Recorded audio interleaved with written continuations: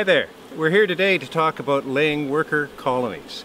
We've got one uh, right here in front of us, so we're going to have a look at that. Uh, this background behind this colony is it was a split that I made up and then I introduced a queen cell. Uh, usually that works out. In this case, it didn't. So the colony got into a hopelessly queenless situation. And what happens then is the uh, when there is no queen present, her smell is gone and when once all the brood hatches out there's no brood smell either. So there's actually a brood pheromone. Both of those smells inhibit the ovary development in workers. When they're gone uh, worker ovaries start to develop and the workers lay eggs. Of course the workers haven't mated so those eggs that they lay are uh, drone eggs and so you get drones developed. It's basically the colony's last ditch effort of expressing its genes from an evolutionary perspective. These little drones that are reared in worker-sized cells uh, are, vi are viable. They can fly out and mate, uh, but the colony itself is on, it's on a downward spiral and it will perish. Uh, we have the opportunity to do a few things uh, with the colony though and we'll, we'll address those. So let's have a look first. We'll open up the colony and what I want to do is show you what uh, the brood looks like.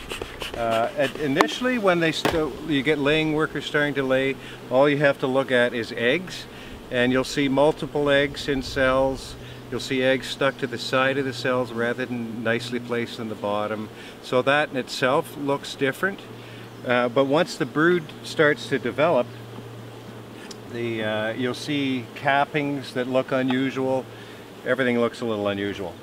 It's not a very strong hive. We have bees from about here to here. Uh, but the important thing is looking at the brood here. So we'll have uh, a close look here. I see cappings here that are bulged out and it's a very spotty brood pattern over in this area, you can see they're trying to raise a queen. That will not be successful.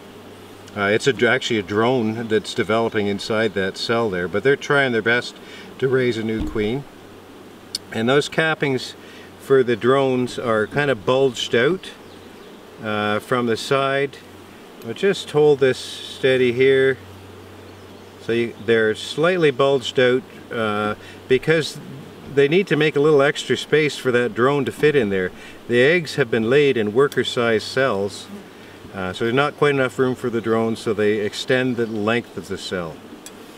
Let's see what else we can find.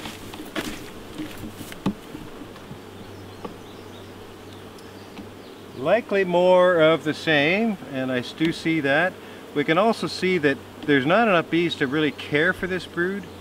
So I see uh, larvae dying at different ages here and it's generally a pretty unpleasant look.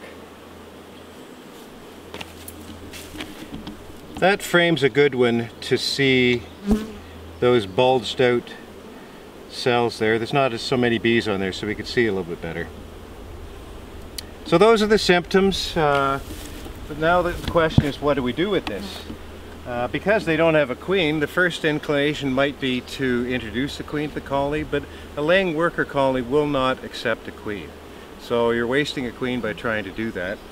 Uh, so the next option is to, and what, what we generally do is just unite the colony with another hive.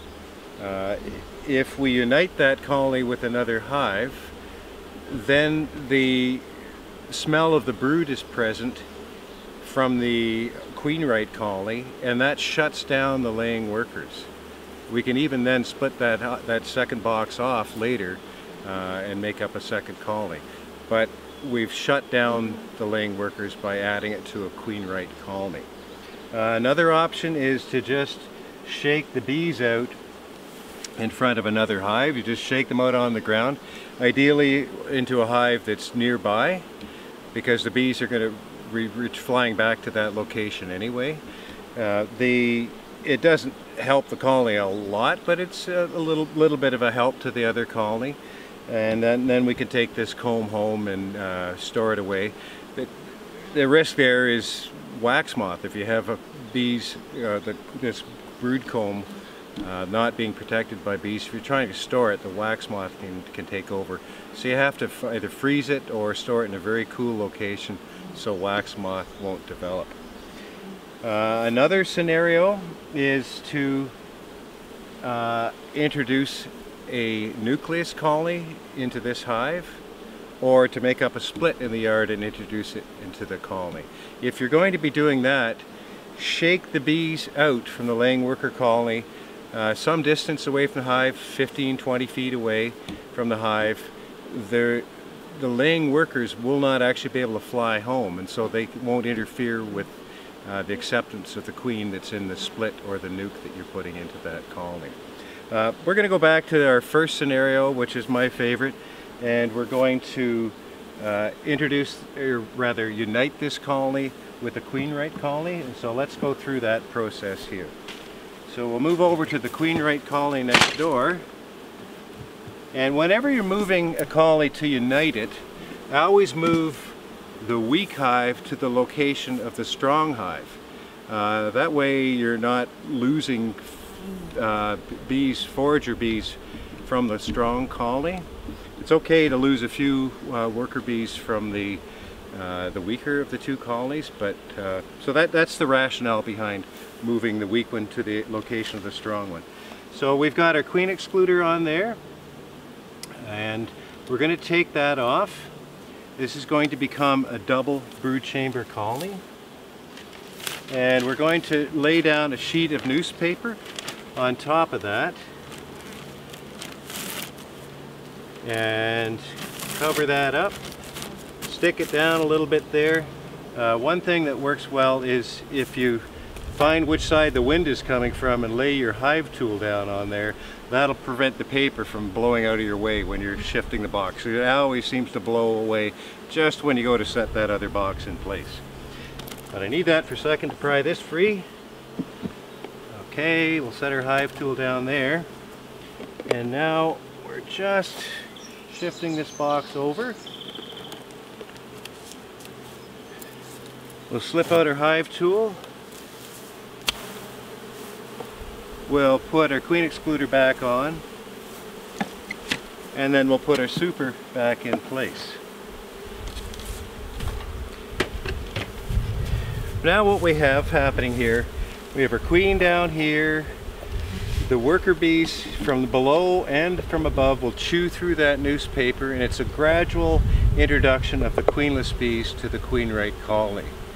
Once those laying worker bees smell brood and the queen, they will stop laying eggs and everything normalizes within the colony. As I mentioned previously, this box could then be split off later and to make up another colony. We're at the middle of July right now, so it's getting too late in the year to be splitting colonies. So this will stay like this. It'll overwinter as a double brood chamber hive, and we'll split it off next time. You might be wondering about the bees in this top super that came from this hive here. Uh, there's no issue with a queen acceptance or uh, here because we have bees. There is no queen up in this area. So those bees will merge together. Newspaper will chew out and everything normalizes. Uh, just a few little ways of dealing with laying worker collies. Thanks for watching. See you next time.